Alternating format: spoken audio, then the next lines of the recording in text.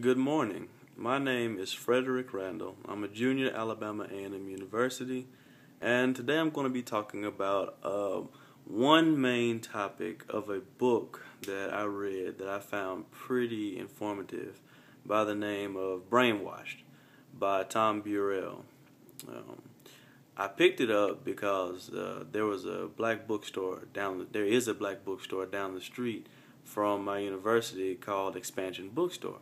Which, if you're in the Huntsville uh, area, Huntsville, Alabama area, I would definitely recommend you go there. He is a great bibliophile who has a great, a depth, a deep pool of knowledge of a little bit about everything, especially when as it relates to black literature and the history of uh, the African American in the United States and uh, oh, of course, in Africa as well. So please go by and patronize uh, that bookstore, and tell them that Frederick Randall told you to go there. Thank you. But um, I was there, and he uh, he saw that I was there with another friend, and you know. I saw this book and uh, I was drawn to it, and um, he said, "Check it out." And I picked it up. I began to read it, and I was really struck by it. There were a lot of points that uh, he made that I felt down to my core that where we just were parallel about. I agreed with him on about everything that he said. Um, but the main one that I really want to talk about today, because I really could just go on and on and on and on and on about this book, is about why we as African Americans in the United States of America overspend. I mean, disproportionately, we overspend on items that are going to depreciate rather than buying items like pers- like uh, real estate that will continue on you can possibly make money off of you know continuous money revolving money um, yeah like it and I really felt like I really felt that one down to my core where I just needed to say something about it because I see it over and over and over again throughout my whole life I have witnessed people, especially the black people, because I'm I'm from Montgomery, Alabama. Um, yeah, that's a pretty important place, right? uh, and I would just see how people would just overspend. Like I would literally go into certain areas where I know you can look at the neighborhood and see this is not like the cream of the crop Beverly Hills type of place. You're not gonna see you know, you're not supposed, you're not expecting to see like a Bentley parked outside of someone's home. You wouldn't expect to see that where, you know, you can see a neighborhood where they're clearly making, you know, ends, where they're trying to make ends meet. But the sad reality is, I actually did see a Bentley pulled, uh, parked into someone's yard in this neighborhood. And the person lives there. I know people who know the individual who lives there. And it was, it was kind of, it made me scratch my head a little bit because I'm thinking, well, here you are living in this little bitty home, but you have a Bentley parked outside of your house. I said, you know, two and two are not, you know, going together and getting the four. Things are not making logical sense, not at all. And um, it, it, it, it troubled me for some years. So when I read this book and I saw that chapter, I said, oh my, it invoked some emotions and some deep seated memories that I have had throughout the years. And it expressed them in the book, and I felt that I might I must share them with you, the viewer. So please pick up the book, Tom Burrell. If you've read it, please comment. If you haven't read it, disagree, agree, would like to add on some more, comment. If you like what I say and would like and would be interested in some more videos by me, please subscribe. Tell other people to come and view some of my videos. Please do. But yes, let's. Uh, I'm now going to begin to actually talk about um, why we as uh, African Americans overspend on items so, that are personal property, like cars and uh, clothes. Um, let's begin. Well, during slavery, um, the African American was completely robbed of his sense of identity and taken and brainwashed, uh, uh, brainwashed to, so that his black pride, pride in his black people, was completely taken away. Where once they were proud to have their dark skin and loved to see the curly hair that they had and to see a black woman as a queen. Uh, it became where the black woman was evil, vile, something that was just a tool for the for the the plantation owner just to have a, as a bed warmer to make sure that his bed literally was warm, uh, just a toy to have fun with, um, where just another tool just to get another child to uh, work and toil in the fields or inside of the home for years and years to come. Um, uh, the black man was just a um, was was also robbed of his sense of identity, uh, where he was just, of course, used uh, as a tool, chattel, property, not a man. No, not allowed to educate himself. Not definitely not even allowed to read after some slave rebellions and revolts and conspiracies. Um, that they were completely robbed of their sense of identity. They didn't really know who they were. They didn't. They felt ashamed to be black. The lighter your skin was, the better you were viewed, and even within the slave community. And of course, that also fostered some jealousy within the slave, the black slave community, um, because a, a lighter skinned complexion child was going to be treated a lot better than a darker skinned child simply because their skin was lighter.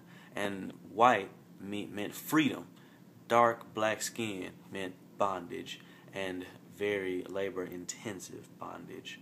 Um, and you know when you were outside, or you know, of course, you know, we're talking about the, of course, the big plantation slavery that, of course, existed in the uh, in Alabama, Mississippi, Louisiana, Texas, Georgia, South Carolina uh, uh, geographical area. There were some others, but when we think of the Cotton Kingdom, you're definitely talking about Alabama, Mississippi. That's what led to their statehood in um, 1817 for Mississippi, 1819 for Alabama. Um, when you're talking about that big slave plantation, um, you, you, you're talking about people who were um, outside working in rags not the not like a, a Brooks Brothers suit. You're not gonna be out there working in that. And you know, these people, the slave owners who were planters, you know, people who owned 20 or more slaves, um, sometimes in extreme cases owned up to 800 slaves in extreme cases. However, the typical planter owned, you know, more than 20 slaves. But for these slaves that you did own, on a plantation, you know, planting for that cash crop, cotton or sugar or rice or whatever, you know, you're not really focused on clothing them. You're focused on making sure that they get their money, get get the cotton out of the field so you can continue to make money. Um, you're not really focused on clothing them in the best and nicest of, of clothes. So they would walk around in clothes and just maybe sacks, not really have shoes until the wintertime came and it and it was it was very hard. It was very hot. It was you know very uncomfortable. You know after a while your feet do get hard, um, but you know it's still you know when you look at uh, your, master and your slave master and you see that you know he is dressed you know very dapper and um, here you are dressed as uh, this throwaway pretty much working for you know him then you know it uh, you know you you just view that this is the way you're supposed to be for a little while. You have a you have an idea that you know I'm supposed to be uh, you know I'm supposed to be uh, uh dressed better and treated better but you know there's a bit of acceptance that goes on. You know you say well um, especially since they were indoctrinated with this whole Christian idea that you know you are some people are born of a low status to serve and you know that was and that were black people who were, were really dark. Black people in general were made to, into that lower. Um, they were made into that lower class of people who were to become the mudsill for America. Um, you, you, you eventually, whenever you do get a chance to buy something, you then just dive in it deeply you know those clothes that you have that you go buy that that car that you may go buy the rims that you put on the car you know that label that you buy it becomes a status symbol it says that i've made it even if you're living in a in the projects you know having this you know box chevy or bmw or a you know Lexus or any luxury item, it becomes a status symbol. It says I've made it.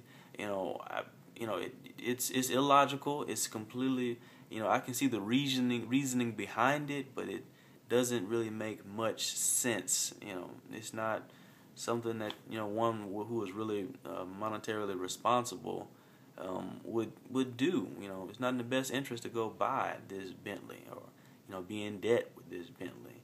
Um, but those are the roots. Those are the roots. You know, when you're snatched and when your self identity and your pride has been taken away from you, and you see that you've almost been reduced to paupery.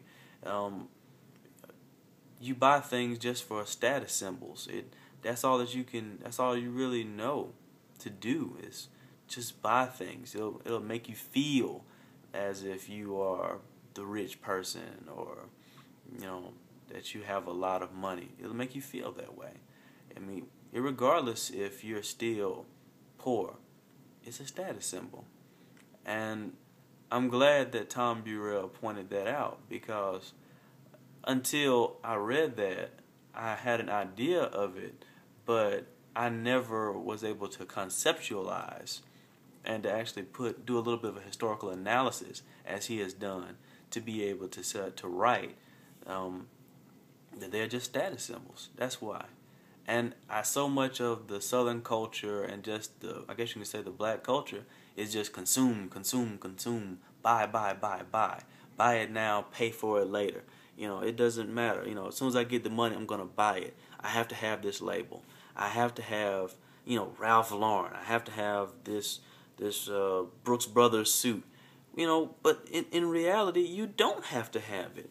You can buy. There are many cases where people just had one suit and just wore black and white over and over and over again. Just wash them, and then you'll eventually get to where you may be able to budget and buy that suit within reason. You know, if you're only making twenty-two thousand dollars in an economy like 2012, you don't need to be going to New York City or any other fine clothing area and buying a suit that has a thread count over 1,000 or maybe even over 500 because those suits are going to run you, are going to cost you at least five hundred to one thousand five hundred dollars on the cheap end um, for one for a um, one thousand range for the one thousand thread count, maybe 500, 700, 800 for five hundred thread count, but you don't need to be buying those. That's that's just not necessary. You need be content where you are for right now and budget and try to save enough money in order to eventually get that suit when you ascended a little bit in your income level. Um, but sadly, the people of the African American race don't really see that. It's it's hard to you know to actually get that across to them because if a lot of them, a vast majority of them, are below the poverty line level, which poverty in and of itself is a bit of a depression.